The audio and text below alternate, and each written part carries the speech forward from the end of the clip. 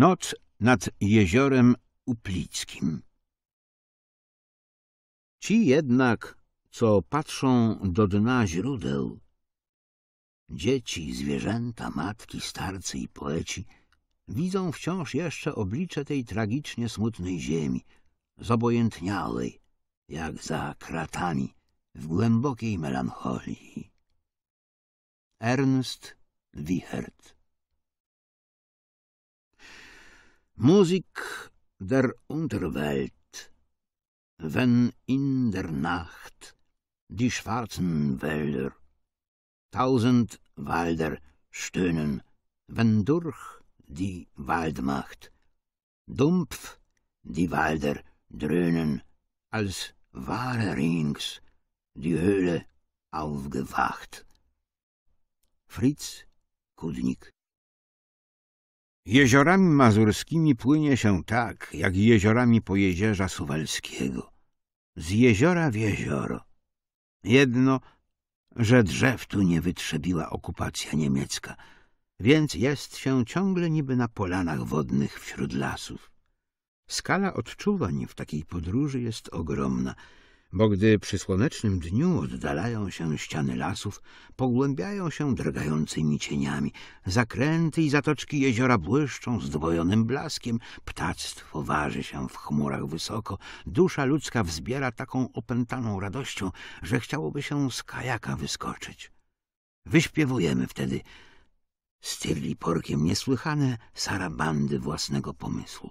Improwizujemy na kajaku pantomimy własnego układu, na przykład taniec pingwinów, które się dowiedziały, że mama zniosła jajko.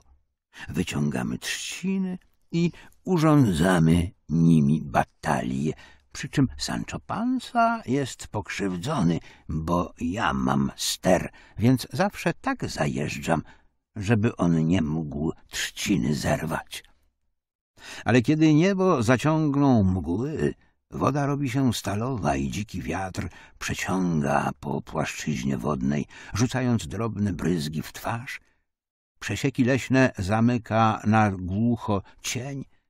Wtedy ogarnia uczucie samotności, uczucie tęsknoty niewytłumaczonej, Człowiek czuje się niczym wobec tych sił przyrody, które się gdzieś w jądrze puszczy zamknęły i czyhają na niego. Wiosłujemy wtedy w milczeniu. Przyroda wschodniopruska zbliża się do człowieka, aby za chwilę powiedzieć Nie zapominaj, że jesteś w puszczy. Nie zapominaj, że jesteś marny robak wraz ze swoją łupinką. Bo też klimat to inny i fantastyczniejszy niż u nas w Polsce.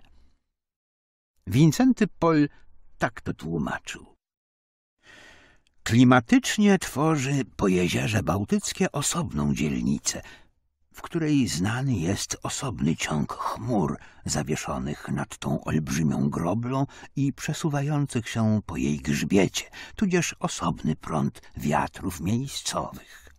Pojezierze Bałtyckie jest osobną klimatyczną dzielnicą, bo jeziora te, zajmując w niektórych okolicach więcej obszaru od ziemi, wychmurzają ze zwierciadła wód stojących w czasie tajania lodów i w ciepłej porze roku wielką masę wilgoci rocznej. Ten stan rzeczy sprawia, że raz po raz Prusy Wschodnie ulegają klęsce deszczowej, jak na przykład w pamiętnym 1844 roku, kiedy deszcz trwał bez przerwy cały lipiec i sierpień, przy czym ludzie umierali jak muchy. Klęska była tak wielka, że aż Fryderyk Wilhelm IV zwiedzał osobiście zadeszczone tereny i dodawał ludności otuchy. Ale i tak każdy rok jest wielką niespodzianką. Rozpiętość opadów jest olbrzymia — Dni typowo letnich bywa w jednym roku trzy, w innym pięćdziesiąt cztery, zimowych jedenaście, to znów osiemdziesiąt dziewięć.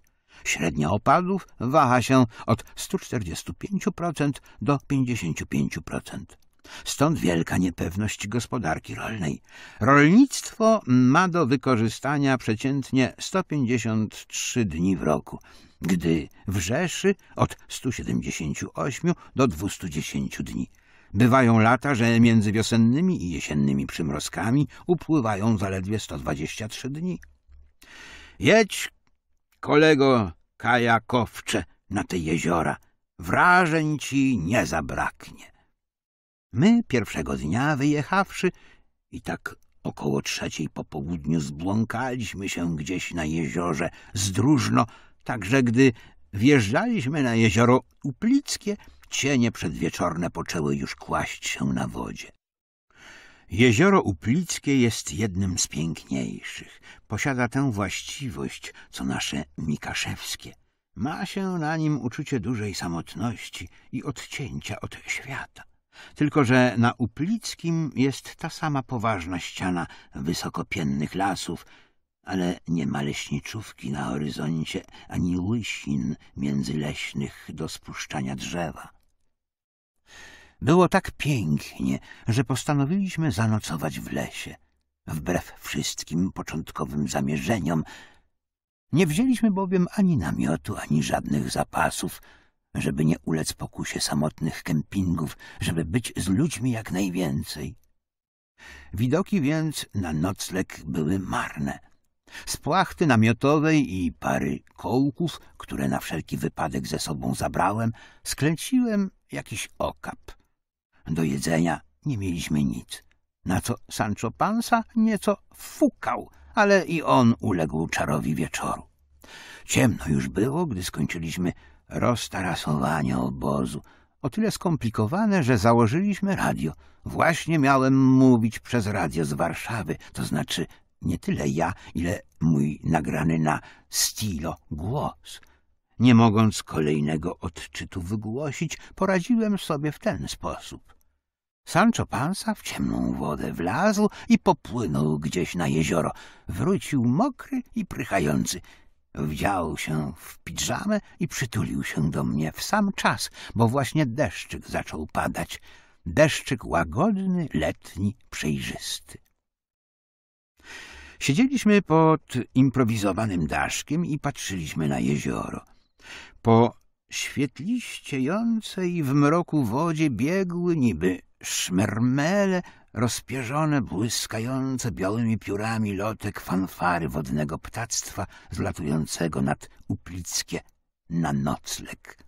Wielkie ryby robiły w cichej wodzie rozchodzące się koła. Majestatyczne głuptaki jeziorowych wód, czubate perkozy, jeszcze żeglowały samotnie do niewiadomych brzegów.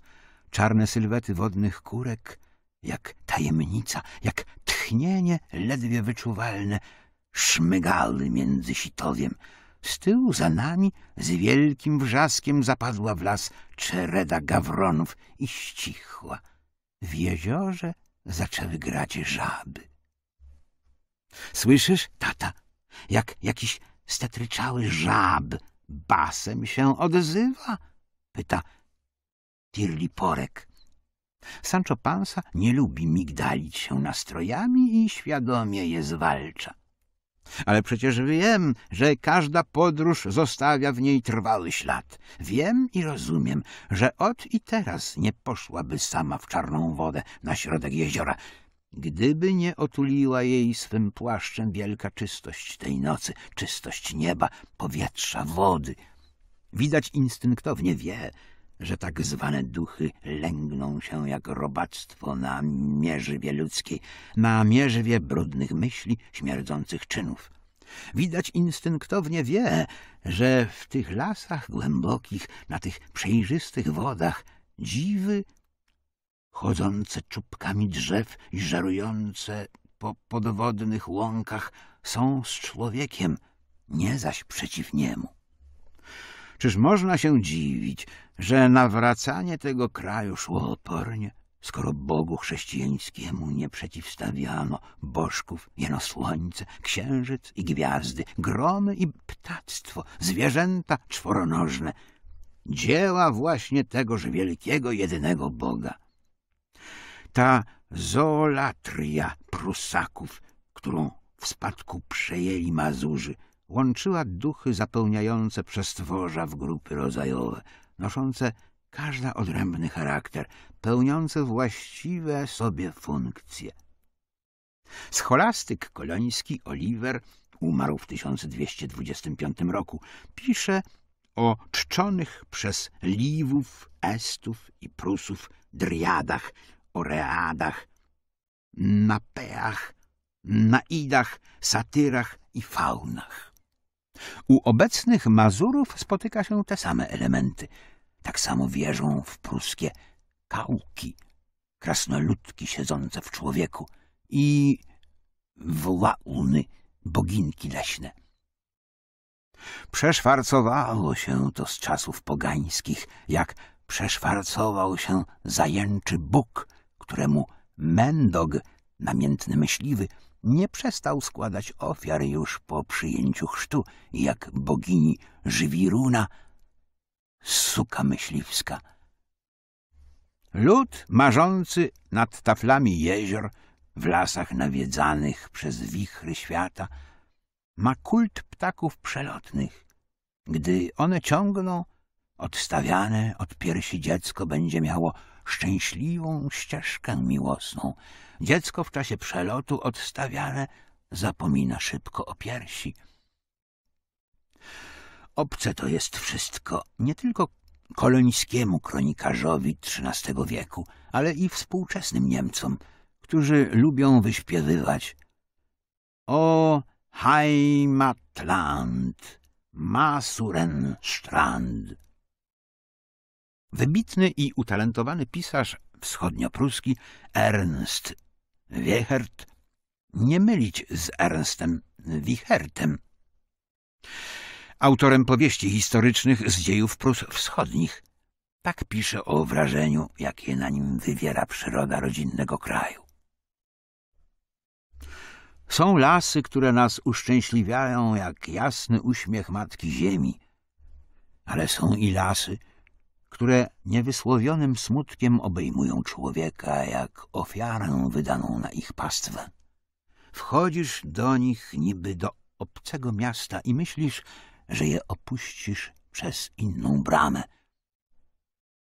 Widzisz przecież już po pierwszym kroku, że tej innej bramy nie ma i że już nigdy z nich nie wyjdziesz tym samym. Zatruły twoją krew ciemnym smutkiem trupiarni. Tak odczuć krajobraz mazurski mógł tylko człowiek obdarzony wprawdzie dużą wrażliwością, ale obcy duszy tego kraju. Zatrutą krew, ciemnym smutkiem trupiarni czułem w sobie, na przykład objeżdżając wielkie jezioro Xochimilco w Meksyku. U brzegu mangrowce tworzyły nadwodne puszcze butwiejących, splątanych korzeni. Dalej w oparach tropikalnych stały jakieś wilgotne wody, kłącza niesamowite, zasiedlone przez jakieś jadowite stworzenia, które przeczuwam, których nie znam, których nie rozumiem, których się boję. Wzrok czepia się z nadzieją, z prośbą o wypoczynek strzelistych pni eukaliptusów, na których łaciatej korze gra słońce. Ale już pod burtą łodzi podwijają się jakieś szerokie wodne liście, na których grubym pokładem leżą zniesione przez muchy jaja. Wiozący mnie Indianin zbiera te jaja, wysuszone, pójdą na stół miejscowych gastronomów jako wyszukany przysmak. Kiedy wracałem do stolicy, pytały mnie Meksykanki — Jakże się panu podobały nasze kwitnące ogrody? Wtedy uprzytomniłem sobie, że na tej trupiarni rosły istotnie całe pola upajających, kolorowych kwiatów. Zapewne piękne kreolki zdziwiłyby się, że ich piękne, pływające ogrody napoiły duszę przybysza z północy ciemnym smutkiem, tak jak zdziwiłaby się Tili, wchodząca w wodę tego jeziora wieczorem, że można doznać przed puszczą wschodniopruską wstrząsu. My po chatach mazurskich znajdowaliśmy wszędzie ten sam obyczaj, co w Kowińszczyźnie zespolonej z kulturą polską. Tak samo dzieciaki, którym wypadają pierwsze ząbki, rzucały je za siebie z prośbą Myszka, myszka, daję tobie kościanego, daj mnie żelaznego. Tak samo starsi poważnie patrzą w śmierć, tak samo po świrnach służą za skrzynie na zboże trumny za życia już przygotowane. Odezwanie się kołatka w drewnianej ścianie wieści śmierć, którą zresztą można ujrzeć, spojrzawszy wyjącemu psu między uszy. Tak samo podobno ciągnie się źdźbła wróżebne w wieczór wigilijny. Tam samą śpiewa się piosenkę. A ja się zrobię drobną rybeczką, albo z niewielkimi odmianami, jak ta mazurska. Stała nam się nozina, pana pani zabziuła. Śpiewana u nas w Kowińszczyźnie. Stała się u nas wielka pogłoska, zabiła męża pani Twardowska. Tak samo i tu, i tam mówi się siła zamiast wiele. Tak tam, jak i tu, snop słomy jest kółem, chodak klumpiem, tak samo tam, jak i tu. O Mazurach pisze to Sukertowa. Wojuje lud z macicą, która potrafi na przykład mężczyznom pod gardło podchodzić i tak dalej. Cóż z tego Niemiec zrozumie? Nie rozumie tego Ernst Wiechert. Nie rozumieją tysiączni kajakowcy uwijający się po wunder szynach Mazur. Ci wszyscy pewno muszą doznawać takich uczuć, jak ów młodociany korespondent Grossdeutsche Jugendbund.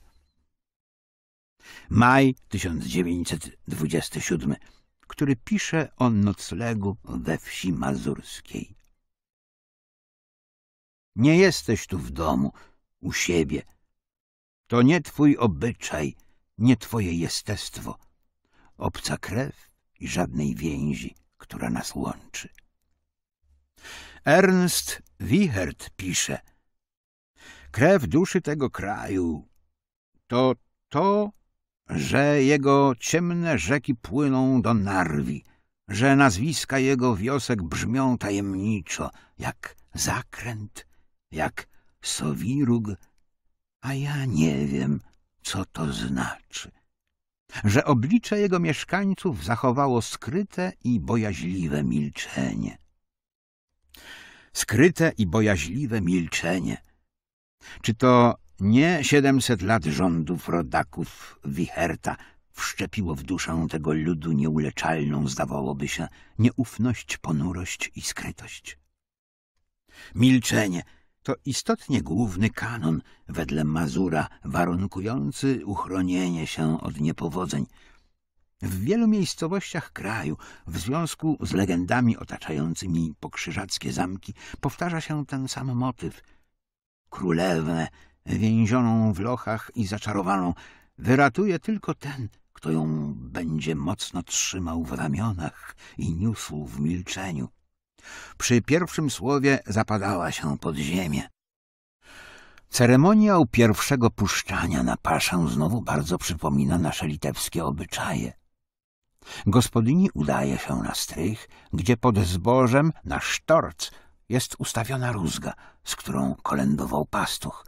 Wyciągają w milczeniu i bez zatrzymania, aby żywinka w Kowiniszczyźnie żywioła wracała prosto z pastwiska, wygania nią bydło z obory. Gospodarz tymczasem nad wrotami czyni znak krzyża siekierą, a pastuch zaklina. Jeśli tego zaniedbać, mógłby ktoś bydło urzec, także krowy będą się doiły krwią. Siewca, wychodzący siać, przekrada się na swe pola bocznymi drogami, aby nie spotkać ludzi i nie być zmuszonym do złamania milczenia. W Wielką Sobotę gospodarz z rzeki lub stawu świtaniem nabiera w milczeniu wody, która staje się wodą oczyszczającą. Skryte i bojaźliwe milczenie.